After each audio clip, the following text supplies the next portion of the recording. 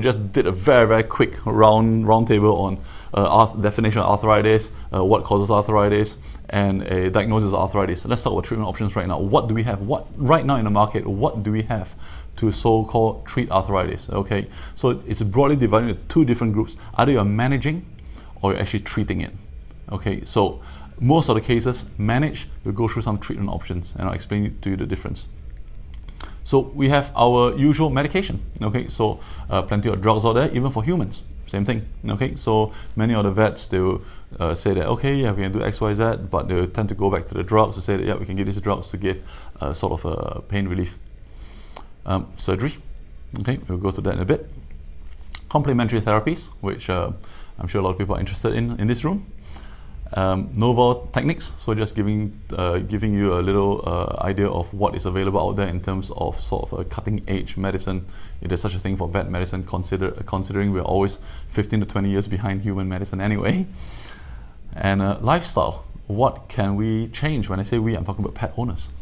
Okay, that we can change to help the animal. Okay, so let's uh, have a sort of brief talk about medication. So the cornerstone of arthritic management, I use the word management, not treatment, management, is using what we call non-steroidal anti-inflammatory drugs or NSAIDs for short. Okay, so this is the most common, most widespread medication that pretty much we as vets are taught and is what is used the most. Okay, so it's a cornerstone of medical management.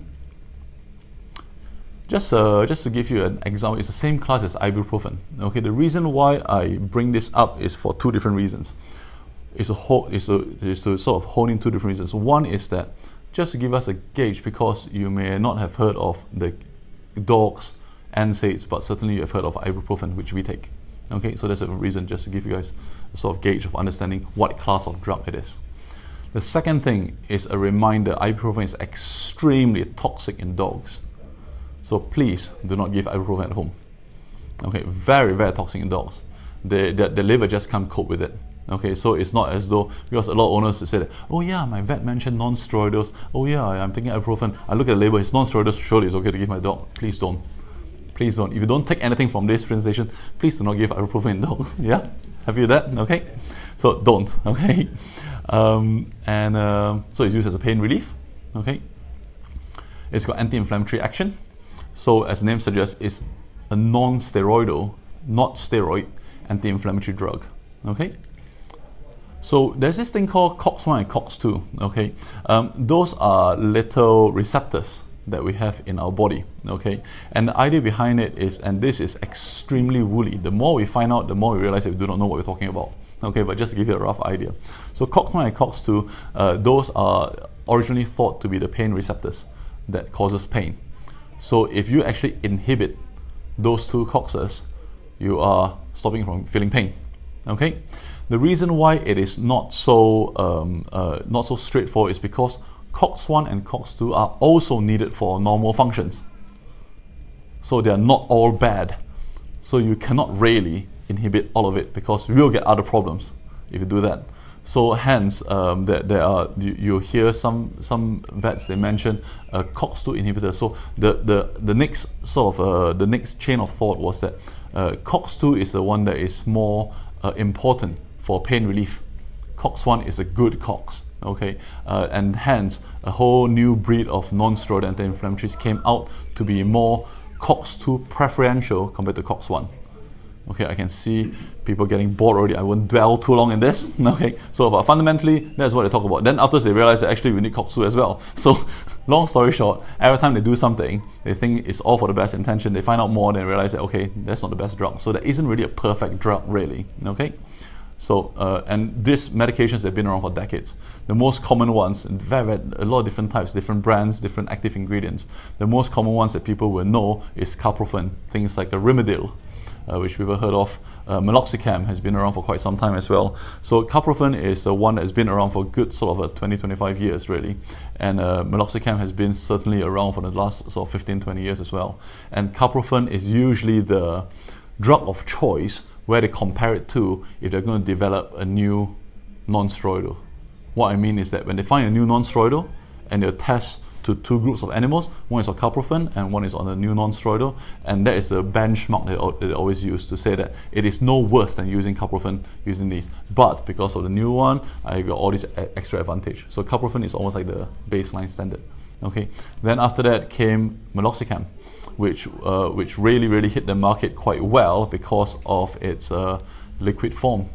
People just found it easier to give a liquid than to give a tablet okay, and into the food and things like that. And also another advantage of, uh, or perceived advantage of meloxicam is that it's much easier to titrate it. It's much easier to give less of it. So example, you can give 20 kilo dose, and some, uh, sometimes you can reduce it to 18 kilo, 17 kilo, 16 kilo. Whereas for a tablet, you know, you can only break it to half, quarter. You can't really do too much of titration with that. So that is uh, the sole prevalence of meloxicam. Then newer ones, like uh, Previcox, which is uh, this other uh, particular. So these are all the coxibs, as you can see, they all end with firocoxib, mavacoxib, cimicoxib. So all this is what we call the sort of uh, um, um, COX2 inhibitors, whereby they are preferentially inhibiting COX2 much, much more than COX1 compared to meloxicam and carprofen.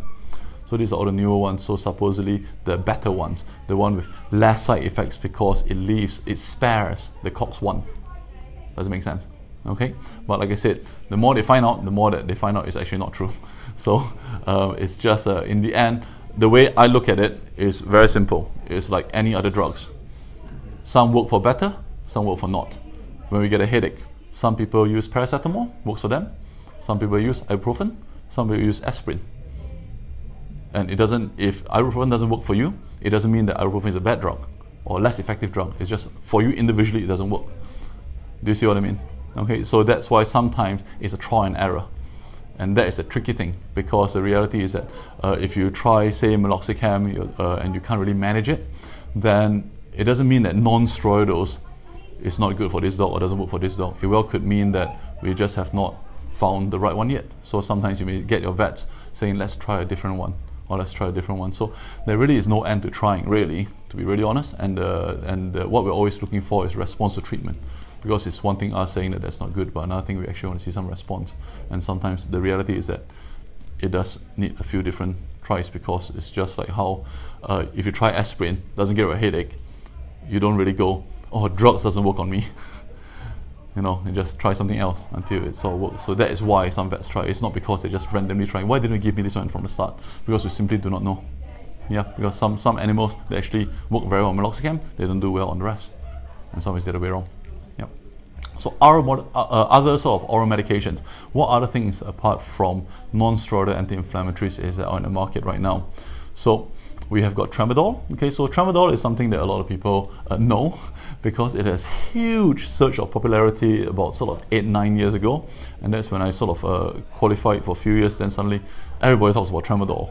Then it was like the next drug of choice to use either on its own or usually in concurrent with a non-steroidal anti-inflammatory. So, for example, the dog has been on Metacam or something like that, or meloxicam, and it's no better or it's, it's okay, but it's still in pain.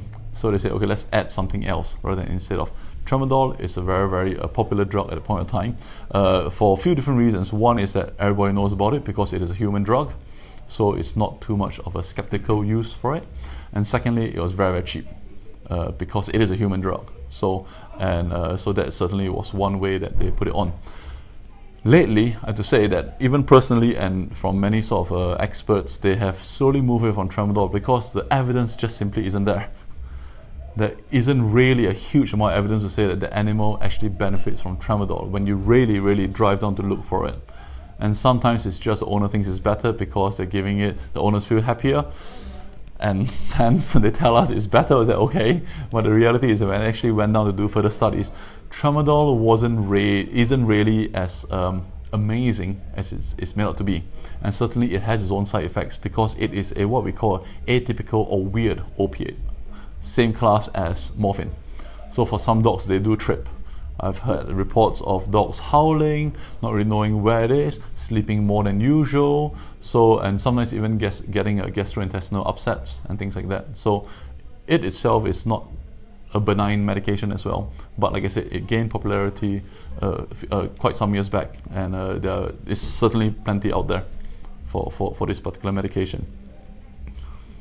Pardale V. Okay, so this is quite interesting medication as well. So this is actually a licensed um, drug, which means that uh, when I use the word licensed drug, means that it is actually uh, licensed for animals or that particular species for that particular condition. Okay, compared to tramadol, is used off license. Okay, so Pardale V contains of two different drugs inside there, two active ingredients. One is uh, paracetamol, and one is codeine.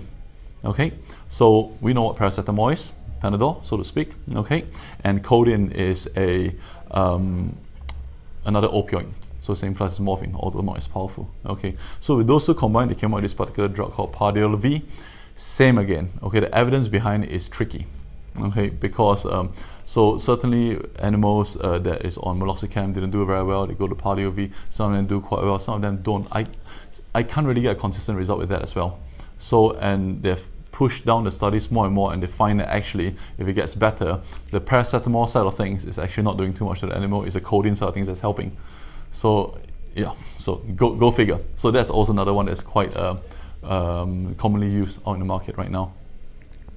Then the next two drugs is uh, fairly interesting is gabapentin and amantadine. Okay, so these two drugs work in a very different way. It's not really an anti-inflammatory. It's not really a opioid. What it does is that it regulates or deregulates the pain receptors up and down your spine. Okay, so yes, I'm feeling the pain in my foot, but I'm just simply down regulating that sensor, that message up to the brain. So if my brain don't register pain, I won't show pain. Does it make sense? Okay, so if you think about it, how we register pain, if you touch something hot, it is because there's nerves carrying your from your uh, from, from your finger all the way down to your spine and going up to your brain. If there is any interruption in that system, you won't feel anything, isn't it? So that is how these two medications work. So they act on your spine centrally rather than locally in the joint itself compared to non-steroidals. So same again, this is sort of used in usually in concurrent uh, with um, sort of a non-steroidals uh, or just on its own really because uh, that's how they can do to manage more of a sort of a spinal pain rather than arthritis itself. Yeah. Um, ooh, CBD oil, controversial. So let's just chuck it out there. so CBD oil, which you may or may not heard of, has sort of gained popularity in the last two, three years, four years or so in the vet world, but it certainly has been used quite um, off the vet world for quite some time now. And uh, usually it is more of, uh, it, it's, it's um, humans have started talking about it, okay? And now it's slowly pushing on to the vet medicine side of it. And it's only in the last few months that the uh, VMD, the Vet Medicine um, Directorate, which is in charge of all our medications, actually made CBD oil a, a, a sort of regulated vet drug, okay, because they've seen what it sort of does. So this one, um, without delving too much into it, it has got different effects, uh, different usage, and they're looking at um, the different receptors called uh, cannabinoid receptors uh, in our body that can also help with pain. Um, it works well in some dogs, it doesn't work well in other dogs. Uh, in the next few months, I'm actually having another presentation just on CBD oil itself, so I'm not going to delve too much in, into it apart from saying it exists.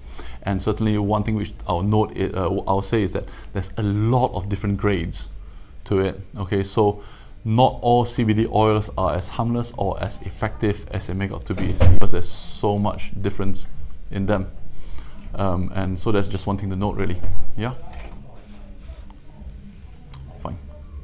So another thing of med- still medicine, okay, so still talking about drugs, Cartrophen injections. Okay, so this is a um, injection that's sort of manufactured in Australia and uh, basically it's a series of injections. And what Cartrophen is is that it helps with the joints itself just to make sure that um, um, just to make sure that it is uh, uh, is helping the joint itself okay in terms of pain relief and also the, I don't think they use the word repair but it's almost as though uh, supplementing the joint itself okay and sometimes what happens is that top-ups are needed from time to time, and usually there is a series of injections. So I, um, if I'm not wrong, the, the sort of sequence is one injection once a week for four weeks. Then after you may repeat the whole sequence six months time again. So it's just series of injection. What is uh, sort of uh, important to know about this is that we do not use it concurrently with steroids because it's been shown to, in combination, it can cause bleeding issues. so to speak. So that's why when they go into this, we don't use non-steroid anti-inflammatories. Okay, so let's uh, discuss a little bit about surgery. What sort of surgery is there? Okay, when we go to surgery, we talk about like hip replacements. Okay, so if you take a look over here, the this is a bad hip. You can all see that really now that we understand what we're looking out for. Fluffiness, flat head, very, very shallow socket. You can see the ball is pretty much out of the socket. It's nowhere near in the socket itself. Okay, so that is very, very painful. So what they do is that they take the painful bit away. So they take this painful joint away and they put an artificial joint instead. So what they've done is that literally take the source of pain away okay? And it is usually done as a last resort. As you can imagine this is irreversible. It's not as though you take a drug you can stop it. Once you do this you can't really go back and put the head back on again. So it is a salvage procedure. It's a last resort. And you're taking away the source of pain okay so if the joint is painful let's take the joint away replace it with another joint okay? And uh, so there are two different sort of techniques out there right now. I mean there's a lot of different types but usually they fall into either cementless versus cemented. So what we talk about cementless or cemented is that whether over here they put any cement or not to put the implant in there okay? So um, the old the older technique it all started cemented. Then after that they went to cementless because using cement can be quite messy in the joints so to speak. But so that is what we call hip replacement, also known as total hip replacement. And uh, just just to throw a perspective to things, it, this is usually lasts for the like uh, for the uh, last for the pet's lifetime. You know, in humans when we do it, they expect it last for between sort of 10 to 12 years. Then you may have to replace it again. Okay, but for obvious reasons, for dogs and cats, they don't live as long as us. So usually it's a one-off thing. So it's not as though you got to replace it again. Okay, and just for interest, you know, usually, usually depending on who is doing it, you can range anything between four and a half to five and a half thousand. Who thinks this is very expensive? Excellent. Okay, so just to give you an idea, human hip replacement is 15k, NHS. We don't know that. Okay, and arguably, just because I like to be controversial, if you think about it, a dog's hip replacement, we charge a third of it. Similar technique, arguably even more, even harder. Bones are smaller, more fragile when you're trying to put the implant in there. And just to let you know what I mean by that, it's like this. So this little bit over here, okay, what happens is that if you just imagine, so they've cut the bone off, okay, they got drill a hole inside there, and got put the implant in there, and they got hammer it in slowly to make it fit in place. Too hard, bone splits, end of story. So we're talking about very, very fragile stuff over here. So it's technically not easy. And even harder because the bone is smaller compared to a human with a big femur, you know, big strong bones. Like sort knocking it. So maybe it's me being a vet, but you know, at a third of what they charge in humans, 15k. The reason why we think it's expensive, and I totally agree, 5k is 5k. Come on. but the reality is we have no idea. We really have no idea what is medical value because of NHS. So in humans, I'm sure you, you either have done it yourself or your friends, your relatives have got hip replacement, it's 15k. Nobody ever gets a bill, so to speak. Then suddenly we go for animals, it's four and a half to 5k because we want to do it at a discount. and say, oh, that's so expensive. Just to throw it out there, just to throw it out there. Uh, but yeah, so that is, um, that is what hip replacement is. Um, what about what other options have you got? Okay, so we've got what we call a femoral head neck excision, okay, of or FHNE for short. So if you take a look over here, this is your femoral bone, this is your head, there's a neck, okay. So femoral head neck excision, as the name suggests, is excising it from here to here, okay. So why do we do that? This is a painful bit that keeps rubbing onto the bone, okay once you take the source of pain away, it looks something like this. Okay, do not forget that um, the joint of the hip is not just a bone, plenty of muscles around it.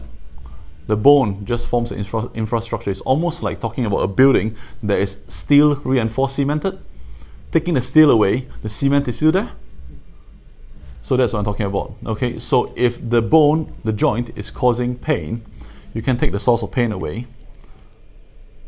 so that a false joint will form over time and now there's no more pain because there's no more bone grinding bone it's not as painful okay also known as a femoral head neck uh, ostectomy Same again. You can't reverse this. It's a one-off thing. You can't put the hip, you can't put the bone back again. So it's a last resort. Uh, removing the source of pain again.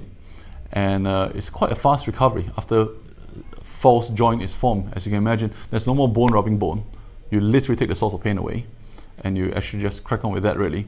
So what, when is this sort of uh, suitable, so to speak? So as you can imagine, so people may ask, why don't you just do this instead rather than hip replacement? Um, and the reality of it, without the bone, as you can imagine, it can't hold as much weight. So this is quite suitable for cats, or quite suitable for smaller dogs that do not need as much infrastructure to hold the body in place okay? And it's been argued uh, both sides again okay uh, that it can go up to dogs up to 25 kilos. So personally i've seen a 19 kilo dog having this procedure done and after that running around like larry like you know happy like larry no more problems. And it's like how do you run like this? You have no joint. But um, that is the reality of things. So i've seen as high as that and certainly cats that do very, very well with that. Um, seen cats with you know uh, very arthritic hips or even god forbid road traffic accident a fractured hip then you take that little bit away, then they just heal quite fast. So, um, orthopods, orthopedic surgeons, okay, they've got various papers out there to say that comparison, hip replacement, still do better than femoral head excision. Okay, um, even for very small animals. So there will still be orthopods outside there who says that even for a cat, hip replacement papers have shown that the results are better than uh, femoral head, neck excision. So for obvious reasons, the hip replacement in terms of cost is much higher than femoral head neck excision, although I must say it's not very expensive at all, but it's still more expensive. So compared, if the animal is, uh, if the owner is going, look, I can't afford that, what else I, apart from putting to sleep, then for obvious reasons, this would be a quite a viable way to go forward, so to speak, depending on the animal. And we always tell the owners, it's not as good as hip replacement, but it's better than euthanasia for obvious reasons. So, uh, and smaller animals tend to cope better than bigger animals. So like I said, on paper they say up to 25 kilos. I personally have seen 19 kilo. Um, anything more than that, we tend to go hip replacement because as you can imagine, no joint over there. You know, 30, 35 kilo, 40 kilo dog running on that is not going to go very far, so to speak.